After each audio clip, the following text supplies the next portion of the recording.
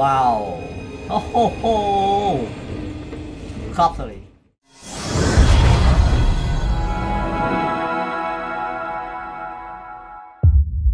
ស្វាគមន៍សម្រាប់ការវិលត្រឡប់មកវិញអញ្ចឹងថ្ងៃនេះគឺខ្ញុំនឹងមកធ្វើវីដេអូដែលតាក់ទងជាមួយ reaction នៅ game ថ្មីមួយដែលគេទើបតែប្រកាស spoil ចេញមកជាផ្លូវការហ្មង game នេះវាមានឈ្មោះថា Black Myth Wukong អ សម្រាប់ game នេះដូចខ្ញុំបាននិយាយខ្ញុំបាន public នៅលើ page របស់ខ្ញុំប្រហែលជាផឹកមិញវារៀងយឺតបន្តិចគេដោយសារតែខ្ញុំទុំទៅមកពីដើរលេងខ្ញុំមិនសូវបានតាមបានព័ត៌មាន game ញាប់ញាប់ខ្ញុំក៏ឃើញគេមានច្រើនខ្ញុំក៏ជួយ research ជូនដល់អ្នកនរគ្នាហើយដោយសារតែមានបងប្អូនជាច្រើនគាត់សួរខ្ញុំច្រើនតាក់ទងជាមួយនឹង game ហ្នឹងអវាបានធ្វើការប្រកាសជាផ្លូវការប្រហែលជាវីដេអូ gameplay ណាដូចជា13នាទីនោះគឺវីដេអូ gameplay បែប official ផ្ទាល់តែម្ដង ឃើញថាអ្វីដែលអ្នកចាប់អារម្មណ៍ជាងគេគឺ graphic របស់វាទី1ទី2គឺចាប់អារម្មណ៍ទៅលើអឺយើងហៅថាប្រវត្តិរបស់ Sun Wukong ដែលខ្មែរគាត់ហៅថា Sun Wukong អញ្ចឹងណាអឺ game ហ្នឹងគឺគេនិយាយតាក់ទងជាមួយ retelling ដែលវាវាលើកឡើងមកវិញដែលដំណើររបស់ Sun Wukong ណាដែលគាត់ធ្វើដំណើរទៅភាគខាងលិចណាវាត្រូវបានលេខតារាងសារជាថ្មីតាមរយៈ game ដែលធំមួយនឹងតតែម្ដងវាមានឈ្មោះថា Blade Myth Wukong នឹងឯង ដែលវាប្រកាសតាំងពីថ្ងៃទី19ខែនឹងឯងដូចជា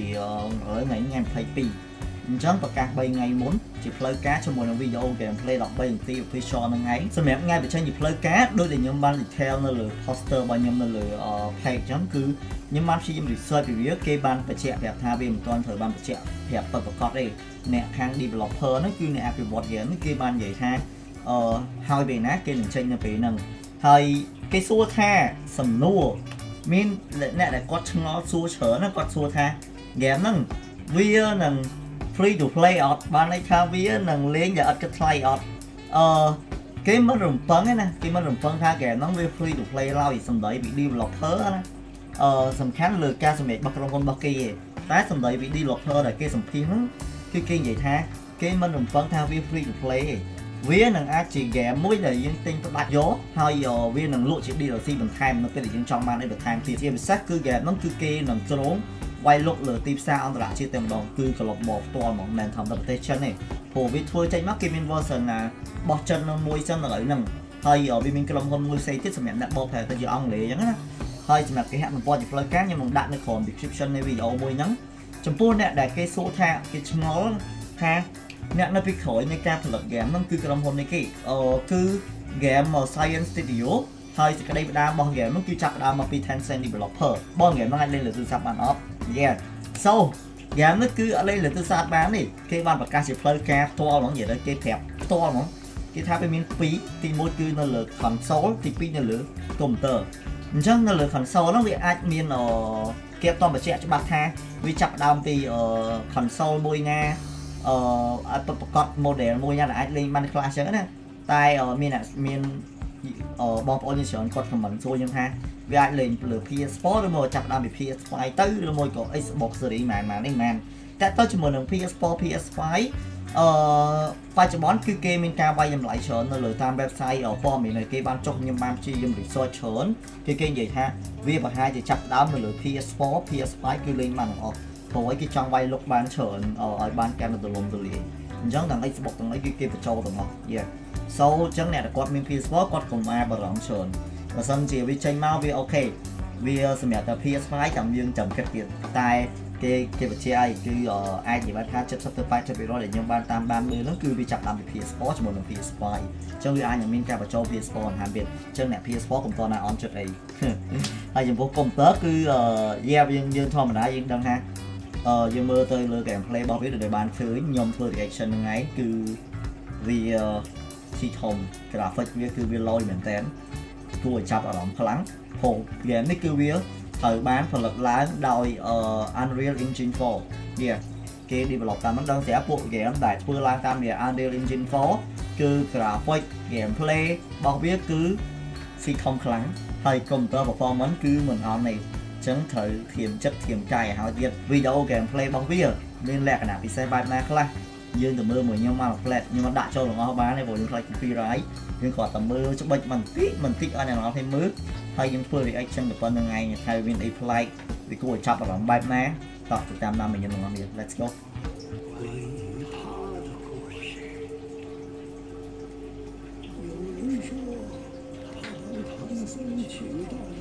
ហើយ start up របស់គេ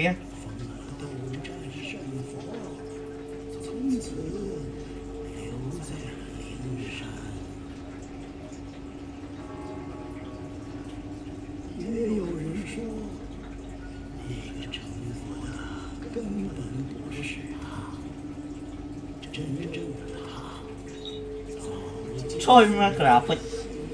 Cup Cup Series như mới, nhưng bạn đang tuổi tôi mới. Hơn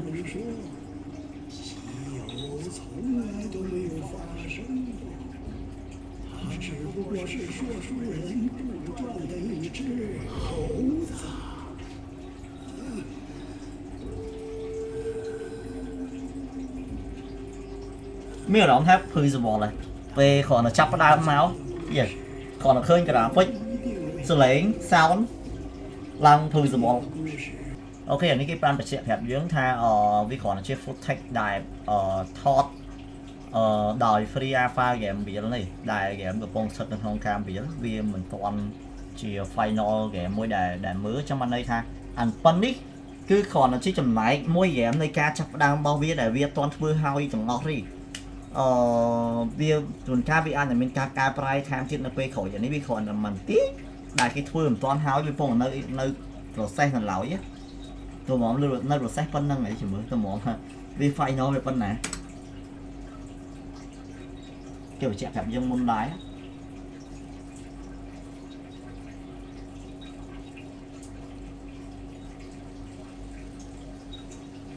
Damn graphic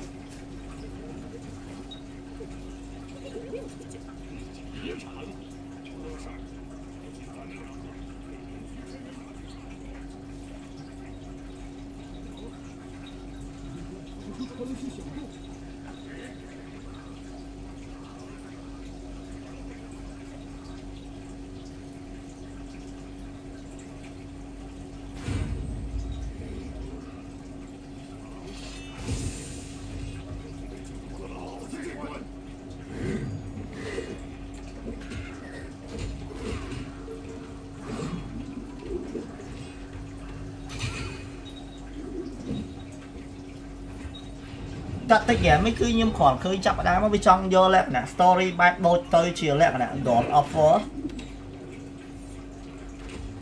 ខ្ញុំមិនហ៊ានសន្និដ្ឋានទេគ្រាន់តែវាសាច់រឿងវាអា gameplay របស់វាគឺចូលលក្ខណៈអអញ្ចឹងដូច Kratos អ្នកនរគិតអញ្ចឹងដូចខ្ញុំហ៎តែខ្ញុំមិនច្បាស់ណាគ្រាន់តែនេះវាជាការគិតរបស់ខ្ញុំដែលខ្ញុំ reaction តែ graphic វាលយមែនវាដែលគឺសវល់ខ្ញាក់តែម្ដងអូយ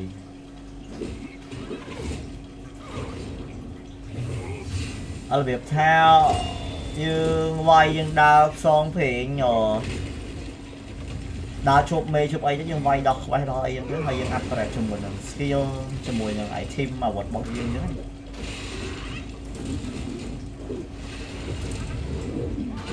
ង Full God of War គឺបែបនឹងដែរហើយវាមានសាច់រឿងមានអីរបស់វាអញ្ចឹងហើយខ្ញុំសង្ឃឹមថាអូខេបើសិនជាវាដូចវាអាចនឹងមានភាករបស់វាអញ្ចឹងទៀតអញ្ចឹងអានេះវាអាចនិយាយថាវាគ្រាន់តែជាភាកមួយរបស់វាទៅអាចទៅដល់ភាកក្រោយទៀតវាទៅចូលលក្ខណៈជួបជាមួយនឹងតួអង្គ like អាជ្រូកតួអង្គអីចឹងណាព្រោះនេះគ្រាន់តែជាចាចាប់ដើមតែគេនិយាយពីវូខុងវូខុងហ្នឹងគឺសិនវូខុងហ្នឹងឯង ដែលគេនិយាយពីការធ្វើដំណើរទៅភាគខាងលិចពីសាច់រឿងរបស់វាចាប់ផ្ដើមអញ្ចឹងណានេះគ្រាន់ជាការប៉ានស្មានរបស់ខ្ញុំណាតែបើសិនជាអញ្ចឹងខ្ញុំគិតថាវាលយគិតដូចខ្ញុំអូម៉ាថាអូខេសាច់រឿងរបស់វាប៉ុណ្ណឹងអញ្ចឹងមកភាគនេះគឺគេនិយាយពីវូខុងវាច្រកភាគក្រោយគេដូរចំណងជើងអាចនឹងឡើងដល់សាច់រឿងរបស់ប៉ាជេសាច់រឿងរបស់អឺលោកគ្រូខាងជេអញ្ចឹងណាអីហើយយើងទៅច្រឡងធွာអីហ្នឹងព្រោះនេះគេគ្រាន់តែយកជាអូខុងតែខ្ញុំមានអារម្មណ៍ខ្ញុំគិតបានវែងឆ្ងាយហើយតែព្រោះព្រោះខ្ញុំមើលអឺខ្ញុំមើលពីការចាប់ផ្ដើមរបស់វាគឺទៅអញ្ចឹងវាបហាក់បហាបែបហ្នឹងព្រោះ game play របស់វាគឺចេញមកគឺស្រៀងអញ្ចឹងមែនតែខ្ញុំចង់សួរយោបល់អ្នកនរគ្នាអញ្ចឹងថាគិតដូចខ្ញុំអត់បើសិនជាមានអ្នកគិតដូចខ្ញុំច្រើនគឺវាអាចនឹងទៅជាអញ្ចឹងមែន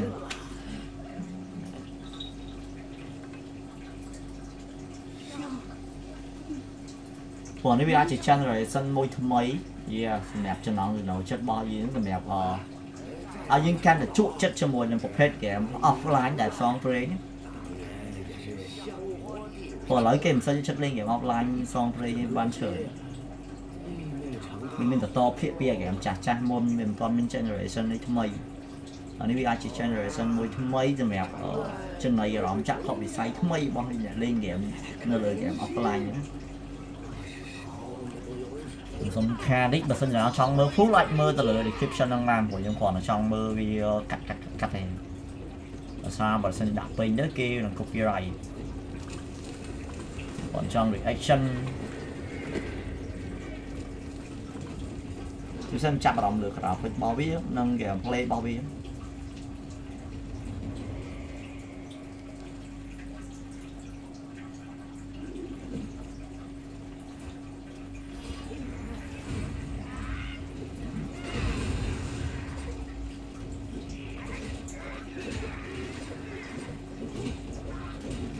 នៅបាយមួយពួកតបបិសាចតបអីហ៎យ៉ា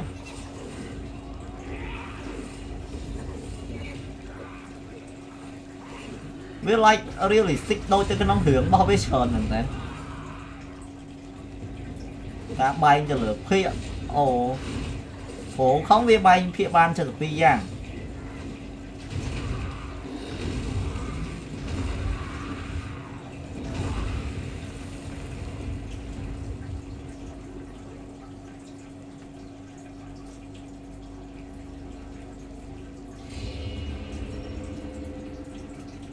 អា នេះគេប្រាប់ពីដំណាក់របស់គេ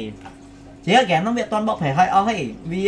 នៅជាអក្សរចិននៅឡើយព្រោះវា free alpha ដូចឃើញហ្នឹងគឺ subtitle វានៅចិនអីឡើយអញ្ចឹងណាយេគេបាននិយាយថាខ្ញុំមើលទៅលើ description របស់គេទៅតាក់ទងជាមួយនឹងការចេញទៅលើ public លើ website លើអីហ្នឹងគេមានក្រុមហ៊ុនមួយទៀតដែលចាំបកប្រែហ្គេមហ្នឹងឲ្យនៅពេលដែលវាធ្វើ final ហើយអញ្ចឹងអ្នកនរបាច់បារម្ភមករឿងភាសាចិនរឿងអីហ្នឹងអ្នកនរគាត់ចេះចិនដូចខ្ញុំអញ្ចឹងព្រោះគេនឹងបកប្រែ នៅ version មួយទៀតសម្រាប់អង់គ្លេសផ្សេងព្រោះគេធ្វើពីរ version សម្រាប់ចិនសម្រាប់អង់គ្លេសផ្សេង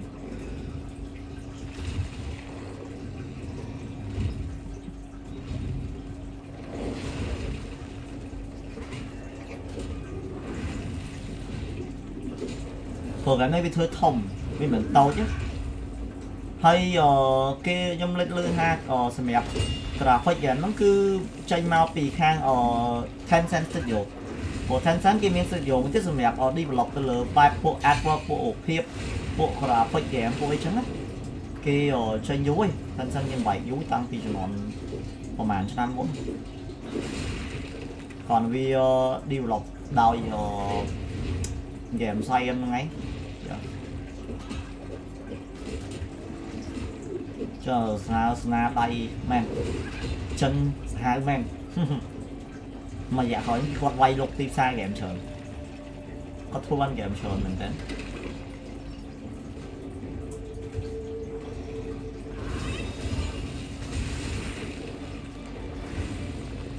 ហើយហ្គេមនេះវាកំពុងតែពេញនិយមនៅក្នុងអាស៊ីមែនតើគាត់តែវាចេញមកព្រាមគឺវាឡើងខ្សាច់ពេញ social media ហ៎គាត់ថាវាពេញនិយមនៅអាស៊ីយើងនៅពួកអឺរ៉ុបអត់ដឹងថាម៉េចទេ តែគេនៅមានចិត្តមួយគេថាគេចង់វាយទៅលើវាយលុកលើទីផ្សារល្មមអូខេ sim that's all នេះវាគ្រាន់តែជាសាច់រឿងរបស់វាគេ gameplay យើងមើលបើអ្នកនរចង់មើលពេញអាចទៅមើលនៅលើ description ហ្នឹងបានសម្រាប់ខ្ញុំដាក់ខ្ញុំនឹងដាក់ link ឲ្យសម្រាប់មើលពេញអញ្ចឹងណា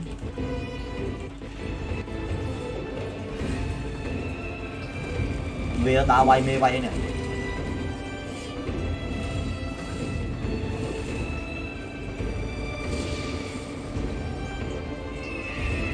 ព្រោះហ្នឹងគឺជា retelling story របស់វា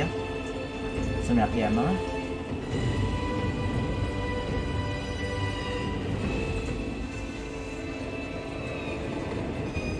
វ៉ាវអូហូហូ copy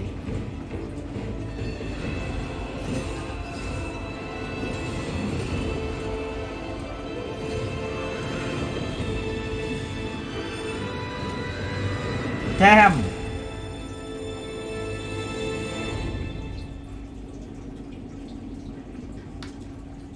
រមែនខ្ញុំមិនចេះចិនទេ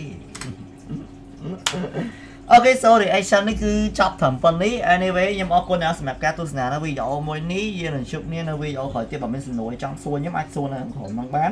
បើមានពាក្យពេចន៍កំហុសឆ្គងណាមួយដែលមិនសមខ្ញុំសូមអធ្យាស្រ័យដល់អ្នកណាផងយើងនឹងជួបគ្នានៅវីដេអូក្រោយទៀត bye bye